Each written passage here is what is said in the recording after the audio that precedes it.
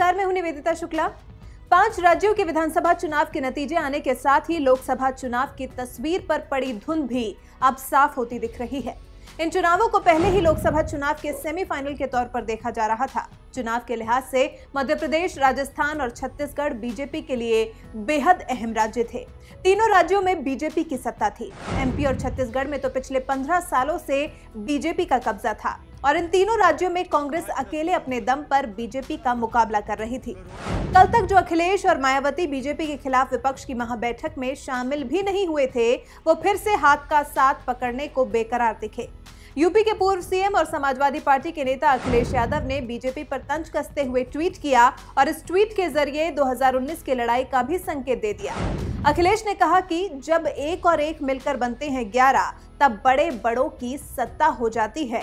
नौ दो ग्यारह। यही दोपहर होते होते उन्होंने ये भी साफ़ कर दिया कि अगर सरकार बनाने के लिए कांग्रेस को ज़रूरत पड़ी तो समाजवादी पार्टी साथ भी देने को तैयार है। वहीं दूसरी तरफ़ बीएसपी सुप्रीमो मायावती भी फॉरेन एक्शन में आ गई।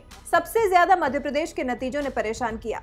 कई बार यहाँ कांग्रेस और बीजेपी की टक्कर बराबरी पर पहुँच गई और सत्ता की चाबी अन्य के हाथ जाती दिखी। ऐसे में मायावती की नज़रें भी कांग्रेस के हाथ पर टिक गई। इससे पहले कि बीजेपी मायावती से कुछ उम्मीद करती बहन जी ने साफ़ कर दिया कि वो बीजेपी के साथ नहीं जाएँगी। उन्होंने अपने सभी जीतने वाले विधायकों को हिदायत दी, बिना किसी देर के वो दिल्ली पहुँचे। तीसरा और सबसे ज़्यादा चौंकाने वाला नाम रहा शिवसेना का। शिवसेना अक्सर मोदी सरकार के खिलाफ बोलती आ रही है। लेकिन इन नतीजों के बाद शिवसेना के नेता संजय राउत ने राहुल गांधी की तारीफ़ की और कहा कि ये हम सब की हार है।